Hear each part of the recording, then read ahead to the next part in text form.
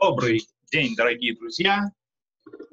А, я рад приветствовать вас на нашей девятой встрече, посвященной изучению книги «Седер Олам Раба», ее переводе и комментарии доктора Хайма Гугенхаймера. А, мы с вами прошлись по жизни Авраама Вину, по его приход в Израиль, и даты. И суммируя все, мы продолжаем с вами Седер Олам, касающийся теперь рождения нашего праотца Ицхака, который рождается как раз в нашей недельной главе Вайра. Так, мы читаем с вами Седер Олам, который говорит,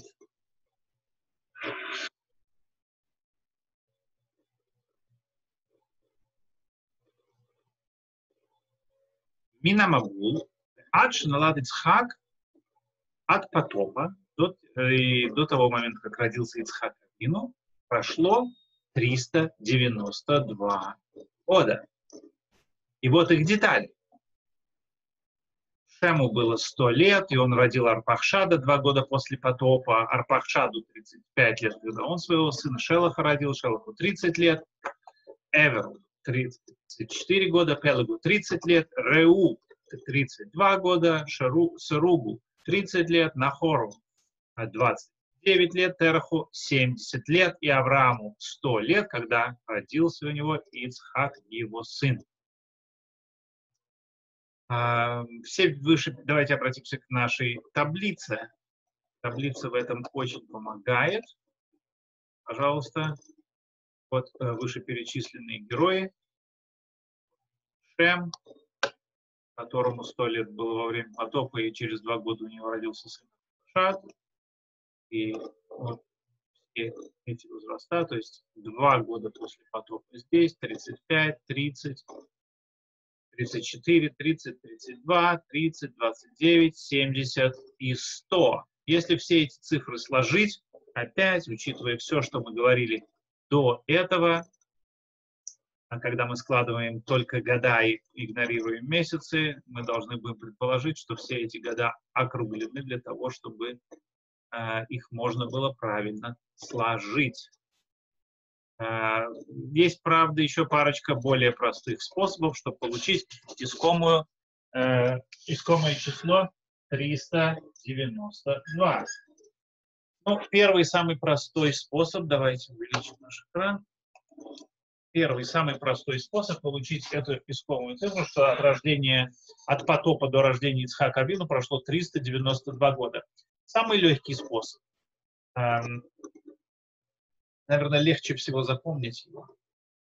Ной жил после потопа 350 лет.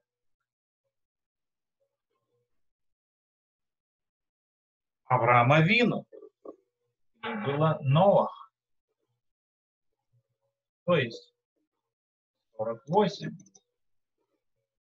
Извиняюсь, 58, когда умер Ноах. При этом, когда родился Ицхак, Авраама Вину было 100 лет. Это значит 42 года спустя после этого. То есть, если к 58 прибавить 42, получится 100 лет Авраама Вину. Ноах – это имя нашего героя Ноаха. И Ноах тоже может означать цифру на иврите. Нунхет – это 58. Авраам Авину было Ноах, 58. Когда умер Ноах, так вот легко запомнить. Это самый большой плюс гематрии, что она позволяет ассоциативную память развивать легко. То есть 42 года прошло от, после смерти Ноаха, до того времени, как Авраам Авину стало 100 лет, то есть родился Ицхак. Сложив, мы с вами получаем скомый нам 392 года. Есть еще, еще проще способ это сделать. Опять, вот более-менее то же самое. Дело в том, что мы с вами в предыдущем занятии предсказали, что от потопа до Вавилонской башни было 340 лет. И мы также сказали, что Аврааму Авину было 48 лет во время Вавилонской башни. Получается, когда родился Ицхак, 100 лет, 52 года прошло. Вавилонской башни, получается 52, 340, 392. Опять та же самая цифра, то самое число, правильнее сказать. И на этом, в принципе, эту тему можно считать закрытой. Комментировать тут особо, в принципе, нечего. И так все понятно, и все уже было сказано. И доктор Гуингаймер, в принципе, особо уже даже на этом не останавливается. Э, также хотел бы сказать, что все вышеперечисленные имена, приведенные здесь, Арпахшад, Шелах, Эвер, Пелег, Реху, Серух, Нахор, Терах и Авраам, они все красиво переводятся с а, акадейского языка. Намного легче и проще их перевести с акадейского, чем с иврита. Окей, едемте дальше, дорогие друзья. Э, здесь я бы хотел сказать некое стихотворение. Я не знаю, знаком ли был Владимир Семенович Высоцкий различными манускриптами книги Седеролам. Но такое впечатление, что как-то подсознательно он затронул тему, которую мы сейчас с вами будем обсуждать. Дело в том, что у Высоцкого есть такое, с одной стороны, вроде трагическое, а с другой стороны, комическое, спорно-юморное стихотворение с, с таким э, юморным подколом э, его коллег, известных поэтов, ныне покойных Андрея Вознесенского и Евгения Евтушенко, которым э, в 70 первом или в каком году там было это, в 72-м, когда это стихотворение писалось, было 37 лет. И Высоцкий э, посвятил, э, намекнул так на них и посвятил им это стихотворение, которое говорит, что кто кончил жизнь трагически, тот истинный поэт. А если в 26, то в полной мере под эту цифру один шагнул под пистолет, другой же в петлю слазил в Англитере. Под пистолет э, шагнул Лермонтов и слазил в петлю в Англитере Сергей Есенин. Высоцкий продолжает. Меня при цифр... С меня при цифре 37 в момент слетает хмель. Вот и сейчас, как холодом подуло, под эту цифру Пушкин подгадал себе дуэль, и Маяковский лег виском на дуло. Э, не останавливаясь на достигнутом, Высоцкий продолжает. Задержимся на цифре 37. Коварен рок. Ребром вопрос поставлен или-или. На этом рубеже легли и Байрон, и Рэмбо а нынешние как-то проскочили. Вот такая вот вещь. Владимир Семенович описывает какие-то предсмертные ситуации, э, связанные с цифрой 26 и с цифрой 37. И дело в том, что это как раз то, что обсуждает Седор Улам сейчас. Сейчас мы с вами начнем это обсуждать, но запомните, вот задержитесь на двух этих числах 26 и 37 нам придется решать между Лермонтовым и Пушкиным, между Есениным и Маяковским. Э, так что давайте без э, всякого дальнейшей задержки, без всякой, перейдем к тексту Седера Лама и, пожалуйста, прочитайте его вместе со мной. Пожалуйста. Седер Лам гласит, это, наверное, вы все слышали миллионы раз э, в различных выступлениях и лекциях синагог, но, как обычно, слышали, скорее всего, только одно мнение или только один вариант. И будем надеяться, что э, после сегодняшней лекции э, мы поймем, что вариантов намного больше, чем один. Авину Ицхак, Аякшене и Катала Мизбеях, Бен Шлошим Вашева Шана. Наш праотец Ицхак, когда был он завязан на жертвеннике, ему было 37 лет. Как сказано в Торе, и жил Авраам в земле Плештим многие дни, говорит Седер Олам, дни, которые он жил в земле Плештим, были больше, чем те дни, которые он жил в Хевроне. В Хевроне он жил 26 лет, значит, в Бейершеве он жил в земле Плештим, он жил в Хевроне он жил 25 лет, значит, в Бейершеве он жил 26 лет. Топ-кадр, как вы, наверное, уже поняли, э, здесь без пол-литры не э, разберешься, поэтому э, давайте будем приступать к нашей пол-литре. Пока э, Седер Олам, прочитанный на интернете для вас, э, упоминает, что Ицхаку Авину было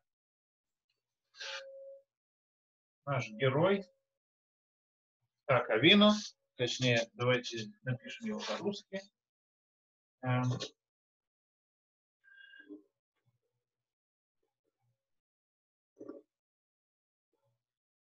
сейчас это по-русски так, да вот так вот, Исхак, Исхак пишется. Понятно, что древние евреи произносили это имя не так, они произносили это имя С вообще не существовало в древнем иврите, в древнем иврите существовало э, С твердое, и Х было очень мягкое. Поэтому то, что говорят э, наши нееврейские э, товарищи, Исаак на различных языках, это ближе, конечно же, к современному поближе, конечно, к древнееврейскому произношению, чем, допустим, современное израильское Ицхак. Это, это, это результат Галута, результат путешествия по различным странам Европы и так далее. С не было, и Х в данном случае мягкое, как свидетельствует транслитерация на греческий язык нашими мудрецами при переводе Торы имени Иса. Окей. Значит, э, давайте поговорим. То есть здесь 37 упомянуто. Однако должен вам сразу признаться, что 37 это упомянуто в ашкенадских и в йеменских мидрашах должен вам сказать, что существует параллельное, и в манускриптах правильно Однако должен вам заметить, что существует параллельный манускрипт, допустим, манускрипт из города Пармы, где вместо 37 стоит 26. Его приводит профессор Миликовский э, в своей докторской диссертации по Садуруламу. Там написано, что Ицхак Авину было 26 лет. Эм, когда, э, когда он был на жертве. Э, ну, давайте немножечко э, отожмем это дальше. Дело в том, что никто иной, как Виленский Гаон, Равильяу из Вильна, тоже предпочитает вот этот вариант текста на основе интеллектуальных рассуждений. И доктор Гугенхаймер не, э, не применул упомянуть, что как-то вот Веленский Гаон э, почему-то делает, доказывает это только на основе интеллектуальных рассуждений. Хотя, говорит доктор Гугенхаймер, он мог бы, в принципе, принести, привести текст Мидраша Баришит Раба. Давайте глянем с вами в Мидраш Баришит Раба. Э, он у нас открыт, это Мидраш Баришит Раба, его 56 глава, 56 главе, э, в восьмом параграфе, говорится, что в когда э, пришел, это известный мидраж, этот мидраж цитируется, э, цитируется налево-направо, чаще всего на Рошашана, многими раввинами. Так вот, э, вариант цити... Э, э, этот мидраш следующий. Когда Ицхак, во время, когда сказал Омар Раби Ицхак, говорит Раби Ицхак, то когда Авраам Авину планировал завязать Ицхака, своего сына, на жертвеннике, он ему сказал, папа, я не женатый человек, я боюсь, что я вот дернусь так, у меня дернется немного тело, как во время, и когда ты будешь делать жертвоприношение резать, нож может немножко соскользнуть и так далее, а порезать, когда жертвоприношение делаешь, надо четко, ровно, в наиболее кошерном виде. Ты уж э, как-то вот так вот хорошенечко меня обвяжи, завяжи, потому что вот э, разве мо можно, говорит он, разве можно взять э, 37-летнего человека и без его согласия просто взять так вот и завязать, говорит Мидраш.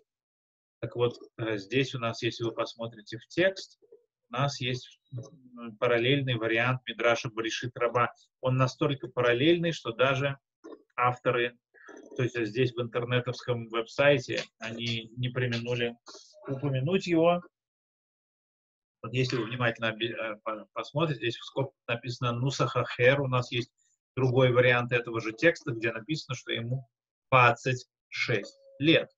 Вот э, доктор Гуингаймер э, немножечко удивляется, почему Веленский Гаон не привел, что существуют две параллельные традиции на эту тему.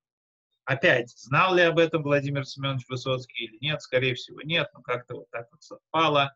Около смертельный experience то ли 37, то ли 26, вот как, как раз вспоминается его стихотворение. Едемте дальше. Давайте теперь э, посмотрим все-таки предпочтение, какому из этих текстов следует отдать. Как доказывает нам Седер Олам, что вот ему в это время было 37 или же 26 э, лет. И вот здесь удивительно, вы знаете, эм, забегая немножечко вперед, дорогие господа, посмотрите, вот здесь не, э, интернетовские наши друзья э, в Сифаре, дай бог им здоровья, они приводят только один вариант, что ему было 37 лет. И вот как-то вот так вот э, нужно искать на свете потом докторов Гугенхаймеров или читать Веленского Гаона, чтобы понять, что э, есть параллельные традиции. Но при этом наши же дорогие основатели, редакторы Сифарии, они при этом написали, что Ривка, когда она вышла замуж за Ицхака, то ли ей было 14 лет, то ли 3. Как так берется, что вот вроде то 14, то 3? Видите, вот здесь вот два варианта ее возраста написано. А вот здесь уже они как-то написали оба варианта. Правильнее, поэтому было бы здесь тоже написать 37 и 26. Почему? Потому что Ицхак женился на Ривке, когда ему было 40 лет. И согласно традиции, с которой никто не спорит, Ривка родилась в момент, когда была Ицхака завязали на жертвеннике на горе Мория. Что же получается? Если ему было 26 лет, и в этот момент родилась Ривка, то когда они поженились, ему было тогда 40 лет, ей должно быть 14. Вот это вариант номер один. Если ему было 37 лет, когда он был завязан на жертвеннике, и э, в этот момент родилась Ривка, когда ей три года, когда они поженились. Вот эти два варианта. То есть сам факт, что они приводят здесь второй вариант Седора Лама, говорящий о 14, это подразумевает, что есть варианты Седора Лама э, 26. И в действительности такие, таких вариантов немало. Это э, варианты в основном, э, в основном это вариант, э, варианты сефардские. Все французские авторы, Раши, Тософот, они им йеменские также, э, Мидраш Агадол йеменский, они все приводят 37 стандартно. При этом э, в сепардских вариантах 26 фигурирует. То есть у нас здесь два варианта до нас доходит возраст Ицхака Вин. Как-то я помню, я потратил э, где-то полчаса, объясняя в одной из синагог, э, что есть второй вариант. После этого один из товарищей встал и сказал, ну, что поделать, я не знаю, что там объяснялось, но ему было 37 лет. Точка. Ну, вот так вот, такая вещь. Окей, смотрите, как Седор Улам доказывает это. Обратите внимание на эти строчки.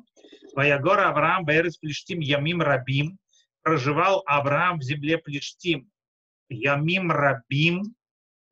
Многие дни. Слово Рабим, опять, это сколько? Мы не знаем. Они, но Рабим, они больше, чем Ямим. Вот есть Ямим, а есть Ямим Рабим. Это что-то что больше. Насколько больше, мы не знаем, но больше. Говорит Седорулам больше чего и больше насколько. А Ямим Алалу, вот эти дни, что Авраам Авину жил в земле Плештим, то есть он жил в Бершеве, но путешествовал в Грар там и так далее. Эти годы, где он жил в Бершеве, они больше, чем те, где он жил в Хевроне.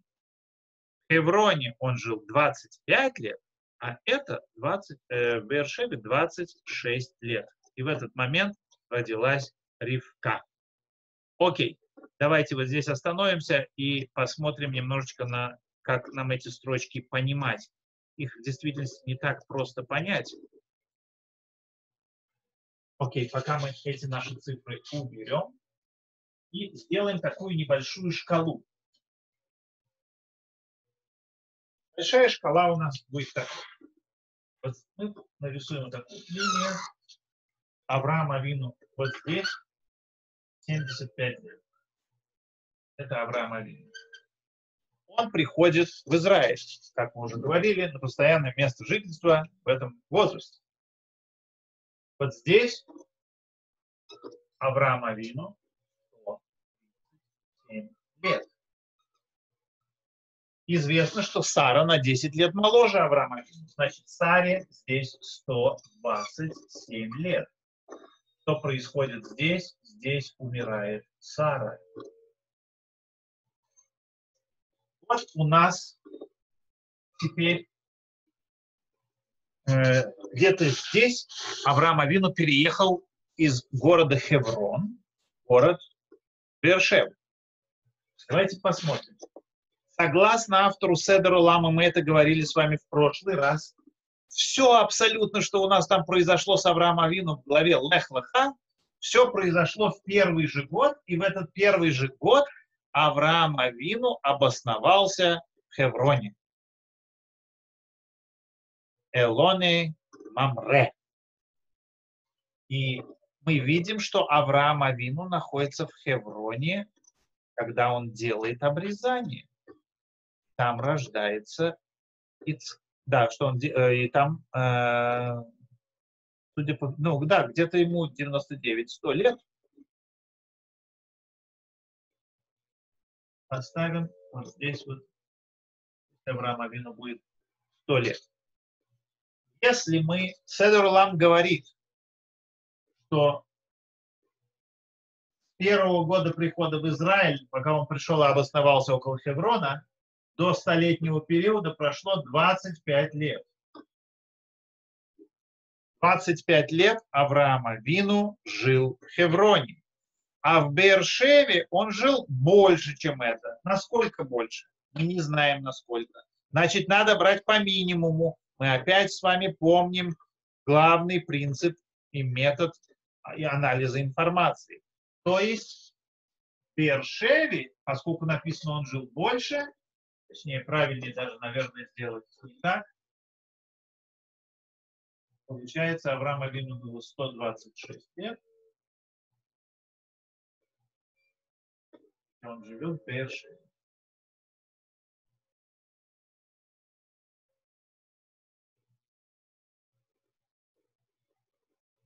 Бершеве. И, извините за несоблюденные масштабы. Ну, идея такая. Здесь 25, здесь 26. То есть, смотрите, что нам говорит Садурлам.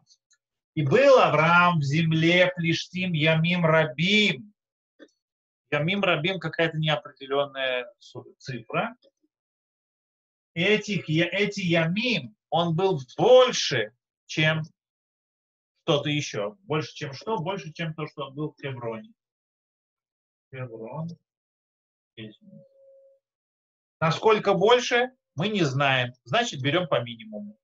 То есть, если здесь он был 25, опять это основывается на предположении, что он сразу первый же год там поселился.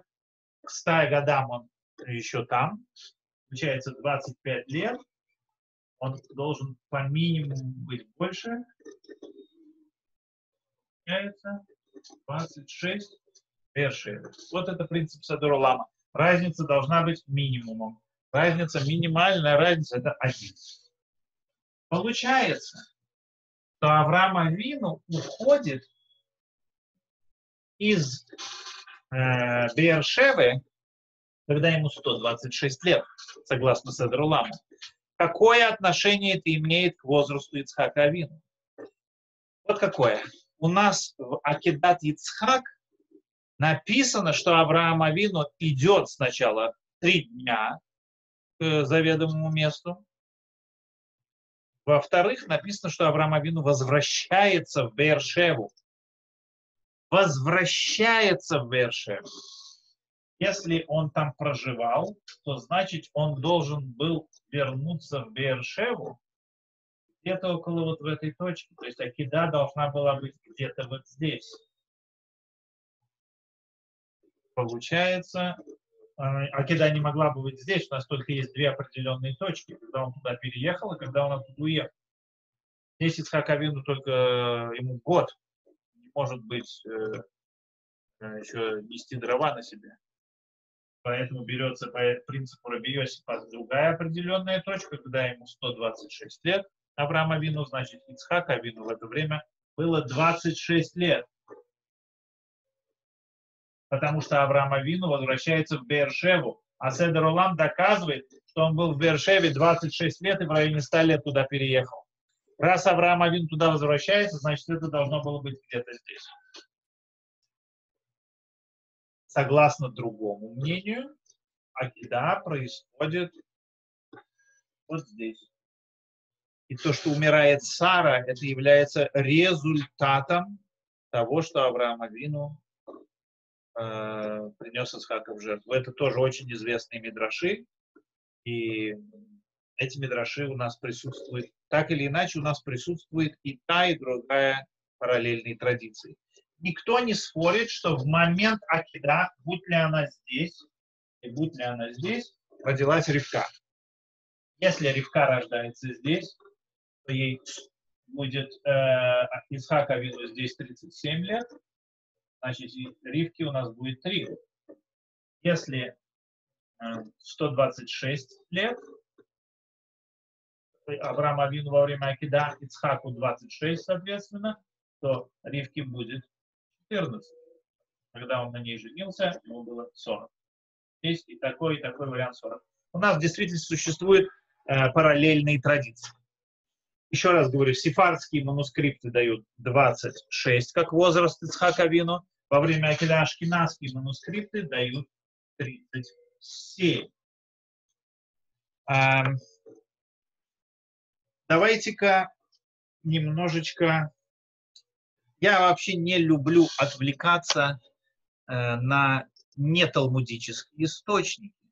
Э, Иосиф Флавий и книга, юбиле... э, книга юбилеев точно не, не помню насчет Иосифа Флавия, но книга юбилеев точно говорит, что эм, она дает цифру 34. Говорит, что Ицхак Авину было 34 года во время его жертвоприношения. Откуда эта цифра берется? Дело в том, что, дорогие друзья, если мы посмотрим возраст Авраама и возраст Тераха, вот здесь давайте посмотрим в нашу шкалу, то мы с вами увидим, что Авраам Авину было около, э, было около 135 лет, и Тераху, Ицхаку было около 35 лет. когда умер Терах. Дело в том, что сразу после Акедат Ицхак Авраам Авину говорится, что у него э, жена его брата тоже сыновей родила, и там есть от них девочки происходят, и целое родословное. Э, есть мнение, что это, это пришло письмо, оповещающее Аврома Вину про смерть его отца. А также ему э, при, при, к этому письму прилагался список, э, что вот такие-то родственники у тебя родились, у нас такие-то, такие-то, такие-то есть родственники. Опять, было ли это написано, или э, купцы какие-то пришли караванами, рассказали, это не важно. Важная идея, что Авраам Авину, к Аврааму Авину пришла информация о смерти его папы, и параллельно с этой информацией ему пришла, шел список родившихся.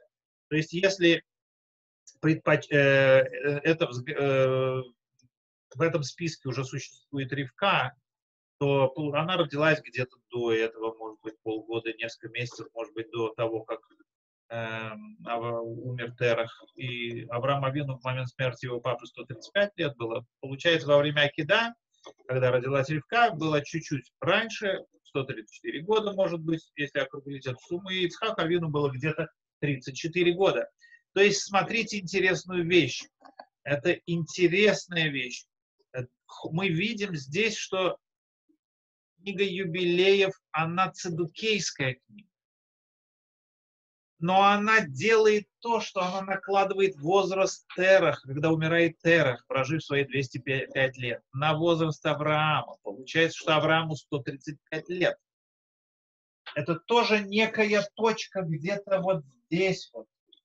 Авраам Авину 135 лет, когда у него умирает папа, и вместе с этим к нему приходит информация о том, что у него есть много родственников, теперь и жена его брата родила детей, и там есть внучки, внуки и так далее, то получается, и это все во время, когда ему 135 лет, значит, Ицхаку 35 лет, получается, что за несколько месяцев до этого могла бы быть Акеда, когда Ицхаку Абину был 34 года. Вот такое предположение книги юбилеев так или иначе, ни автор этой, ни автор этого, ни 26 лет, ни 34 лет не связывает э, жертвоприношение Исхака со смертью Сары. Бесспорно, это э, одна из э, талмудических традиций. То есть, смотрите, дорогие друзья, у нас есть несколько различных традиций, которые эм, говорят нам ту или иную цифру. 37, как Пушкин, или же 26, как э, Лермонтов. Эм, Веленский Гаон, как я еще раз сказал, предпочитает вот этот вариант. Эм, Равьяков Эмден предпочитает этот вариант. Эм, я бы хотел, может быть, оставить э, сегодняшнюю лекцию именно на, э, на половине, как говорится, потому что без с этой информацией будет связано обсуждение возраста нашей праматери Ривки. Было ли ей три года, или было ей 14 лет. Дело в том, что не мы с вами первые, кто занимаются этим вопросом. Всем, конечно, нам хочется, чтобы ей было три, более веселее, так сказочнее, чудесней. А есть такие, которые, наоборот, хотят, чтобы было все проще и реальней. Так или иначе, по всему, существуют две параллельные традиции. И с, начиная с времен, ну, не знаю, с времен талмудических, эти две традиции, было ли и три года, и 14 лет, параллельно развиваются в еврейском народе. Эти две традиции обсуждаются в новой литературе еврейской, они обсуждаются в относительно недавних работах мудрецов 230 э, лет назад. И, бесспорно, э, они заслуживают детального разбора и внимания.